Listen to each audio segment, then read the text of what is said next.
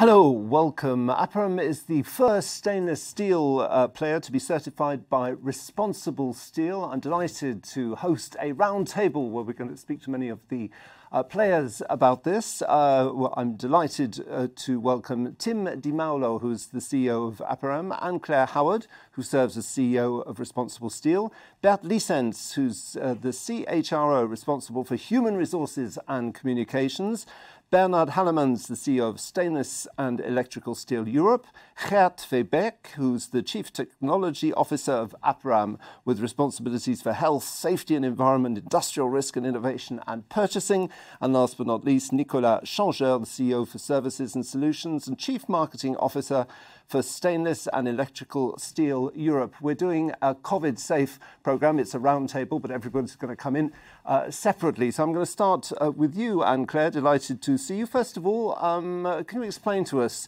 um, the association that you're representing? Is it just uh, another kind of like um, FSC uh, label, like for organic food? What is it?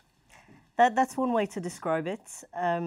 Responsible Steel is a multi-stakeholder organization. So we bring together business throughout the entire steel supply chain from mine through steelmaker all the way down to consumer, as well, and this is really important, as well as civil society actors.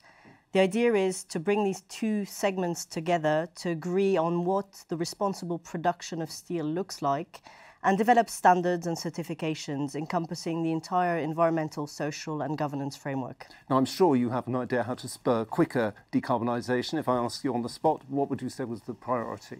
It's a very complex question, so I'm going to try and give you a short answer on that one. Uh, decarbonisation is the biggest challenge we face uh, as a species.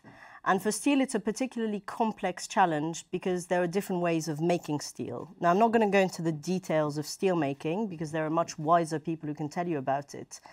But the way to spur decarbonisation comes from two approaches. On the one hand, you have the steelmakers themselves, how they can modernize their equipment, adopt new technologies, find ways of making steel with less carbon.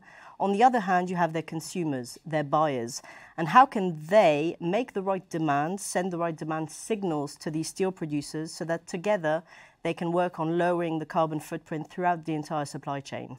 That was very concise. Thank you so much indeed. Anyway, thank you for being here. I'm going to ask you to leave it with that COVID uh, performance, and I'm delighted to welcome uh, in your place Tim Di Maulo, who's the CEO uh, of uh, Aperam, the, the, the lucky uh, winners of this certification. Uh, Tim, um, in a few sentences, Aperam, could you just sell it to us? Okay, so Aperam is a company which is um, producing stainless steel, special steel, alloys. We are in, uh, in uh, three main areas, Brazil, Europe, and we have a, a mm, comprehensive network of distribution and service center all around the world in, uh, in 40 countries. We have 9,400 people, which are passionate, passionate people uh, in, in the company, and uh, they are of different nationalities. Now, you're quite a young company, aren't you? If I ask you to yeah. tell us what you've achieved already since, uh, since you, you, you've been existing.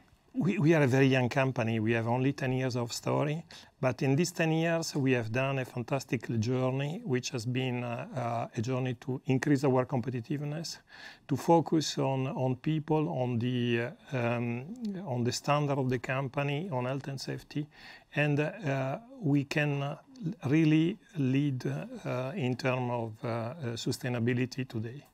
Now, lots of companies uh, talk about their, their CSR. Pitch yours. Tell me, tell me about yours. So, first of all, uh, I do believe, and we do believe in people. And when you say this, you have to focus on what is necessary and important for people. First of all, health and safety, the way the ethics you, you put in place, and everything which is uh, in the comprehensive, uh, uh, let's say, three letters ESG, so environmental, social, and governance. And this has been uh, a work of all the team during, during these years. Now, as an industrial activity uh, company, your uh, environmental impact is obviously absolutely uh, crucial and very much in the spotlight, um, but obviously it eats into your profitability a bit. It must do. No, it's the contrary. It's exactly the contrary. First of all, what are we producing is uh, mostly stainless steel. Stainless steel is a fantastic product because uh, it, it is durable, he has not uh, a necessity of uh, maintenance, of coating, etc. And uh, in theory, if it was uh, not uh, expensive, it, you could do everything which is around you in stainless steel. You do only the most, let's say, demanding products, but everything could be done in stainless steel and be durable and infinitely recyclable. And second, with the um, scrap and with the charcoal, we are part of a circular economy, which is also competitiveness. We have charcoal in, in Brazil, in uh, sustainable um, uh, forest, and we are more than 90% of uh, scrap base for all our, the, the, the stainless steel we produce. Okay, well, congratulations anyway for the certification. Thank you very much, Tim. Bert uh, Lissens, uh, who is the CHRO responsible for human resources and uh, communications. Thank you very much. In our, our COVID arrangements for the roundtable, um, we're going to talk a little bit later about uh, CO2, um, but uh, I want to discuss the social aspects of your ESG uh, performance. Um, how exactly do you engage with your employees? Well, we do um, employee engagement service. Uh, so we do a service whereby we cover all employees in the company and we gather their feedback in an uh, anonymous way. Uh, then we uh, discuss the results with them and we put action plans in place both at the local level and at a global level. Uh, and next to that, I think we are strong believers in management proximity. And, that, and, this has been especially important uh, during the COVID crisis, because there, of course, uh, in a context of social distancing and uh, uh working ho from home for a lot of people, uh, being close to people, being attentive to people uh, was even more important. Even and, important. And then we've been recognized for that as well by our professional federation. We received an award on how we handled the, the COVID crisis by our uh, ESSF. Uh, Is it, isn't it difficult, though, to have a guiding principle uh, in this? What would you say was yours? Oh, I, our guiding principle is the fact that we strongly believe that um, people are our most important asset. And, and the fact that we are here uh, to celebrate this success today is also a result of that. It's thanks to the hard work and the teamwork of, of, of our people. Um, and I would say next to that, we, we, we, we also work a lot on um, accountability, um, entrepreneurship, uh, agility, resilience, and, and uh, developing our people through learning and coaching. And I think they appreciate that. I think the proof is uh, in the results of the latest climate survey. If I look at the overall score, it was at 86%, uh, so it proves that uh, people appreciate our efforts. But between you and me, Bert, do you really need a certification? it seems like you, you, people know that uh, you're doing quite well. Well, as, as an HR professional, I can say that um, being recognized as a front runner in sustainability uh, is absolutely essential and helps us a lot in attracting and retaining the best, uh, the best talent. So we hope that uh, the, the responsible steel framework continues to focus on the social topics like uh, human rights, diversity, um, and, uh, and, and, stakeholder engagement um, and labor conditions. Um, and I would say to summarize, I think uh, being, uh, having our, our uh, responsible practices validated by an external third party is uh, a definite plus for us, especially for the younger generations who uh, tend to be skeptical when it comes to uh, green communication, and they ought to be. Yes, absolutely. Okay, well, thank you very much indeed. Dank u wel. Bernard Hallemans, who's the CEO Stainless and Electrical Steel uh, Europe. Uh, Bernard, uh, uh, how are you? Um, why have you decided to go down the certification route with Responsible Steel? Could you tell us about that? Well, in fact, we already started in 2019, so we joined Responsible Steel quite early because, in our view, it was an excellent way to test, to benchmark our practices in terms of uh, corporate responsibility. So um, it engaged us and it, it gave us the possibility also to engage with customers, with suppliers, uh, and with uh, all stakeholders to come to a standard which is very comprehensive. Uh, we talk about 12 principles, so it goes far beyond CO2 alone. CO2 and decarbonization is a major uh, challenge, of course, but it goes far beyond that. And so the fact that we arrive today at this, uh, at this stage makes me very proud and is also proof that we do what we are saying since a long time. And for the future, what do you, uh, how's this going to affect you in the future? Well, in, in the future, it will help us to further uh, uh, improve, I would say, a comprehensive approach on, uh, on uh, the matter.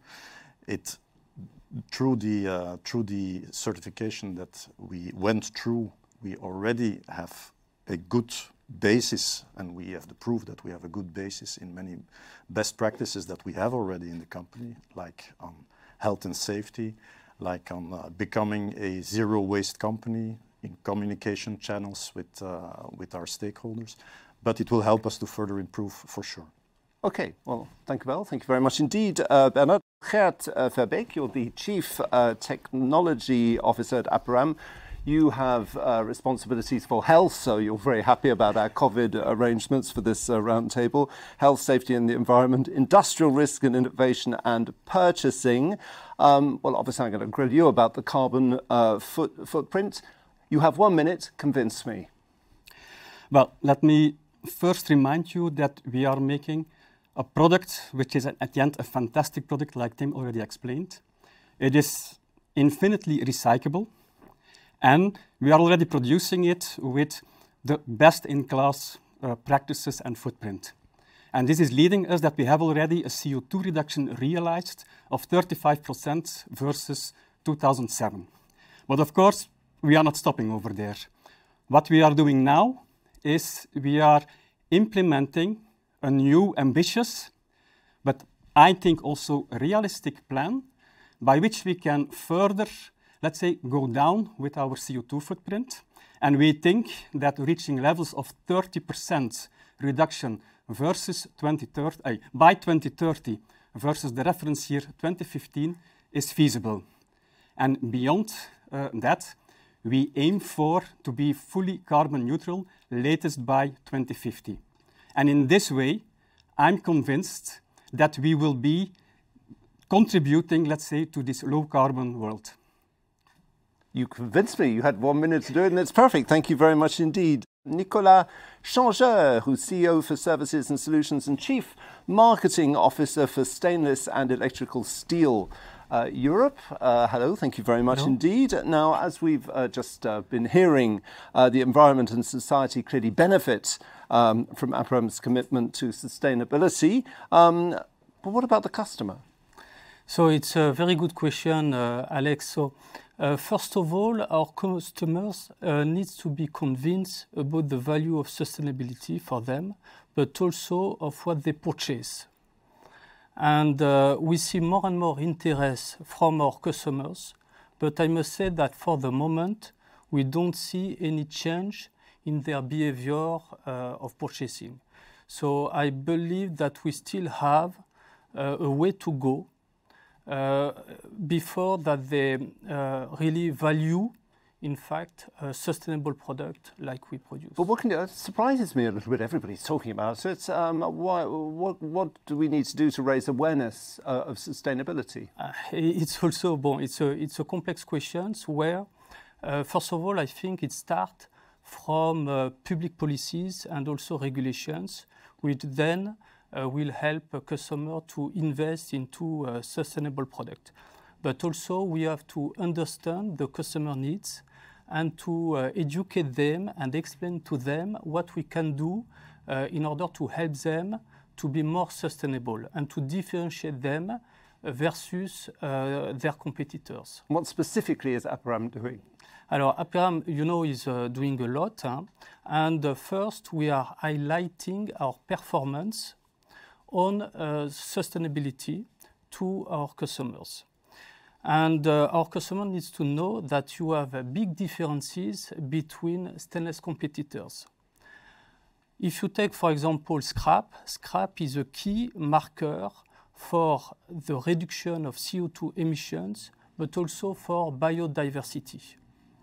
And um, if you compare our products, for example, to uh, imports, I can tell you that we uh, produce our standard product with more than 80% less CO2 emission than uh, imported product. And I think it's really very significant. And so for that, our customers are more and more interested to know and to have qualitative information. And I think that with responsible steel, we are really setting a new standard in the industry because they have now an external proof, a trustworthy proof of what they purchase. And this makes, I hope, all the difference. Just very briefly, it's very difficult doing all this as well in COVID time. We're, we're doing things differently. Uh, has it been very challenging? Uh, it is, of course, uh, very challenging, but we have uh, all technologies uh, to get people together uh, in order to achieve this kind of important task. Merci beaucoup. Thank you very much. And I'm going to ask Tim uh, to come back uh, for a few words. You've been listening to uh, all the speakers in our round uh, table. Um, what would you like to add as a conclusion? Alex, I think uh, that uh, my team has done a perfect work in showing what is the engagement of Aperam in terms of uh, sustainability responsibility. We are fully engaged. We believe in the value of people, in the value of this organization, and we are uh, uh, in the best uh, in class for the, the, the, the, principle and to apply this principle in our real life. Now we want to do much more. And what we are doing is we want to be the champion of the circular economy. What I mean for that? We are already recycling using as a main source of our raw material uh, scrap, which means that we recycle uh, and we use at 90% uh, the scrap as a raw material. This is part of the circular economy. We are doing, uh, we are using for, um, forest in a sustainable way, certified, to uh, replace coke from mines, and this also is a circular economy. What we are uh, in investing is not only in our industry, in the process, in the mills, in the furnaces, but we are also investing in uh, ELG is a company which is one of the biggest company in the collect and the recycling of scrap. We have uh, and with this, you have to take in mind that uh, nearly 30% of our people are working in the circular economy, which is a unique asset in the world. Well, anyway, congratulations. I think I've understood a lot better in this program why you've got this uh, certification and certainly understood a little bit more about your uh, convictions. Uh, so thank you to you and uh, thank you for watching and to all who've uh, taken part in this roundtable. Thank you. Bye-bye. Thank you very much.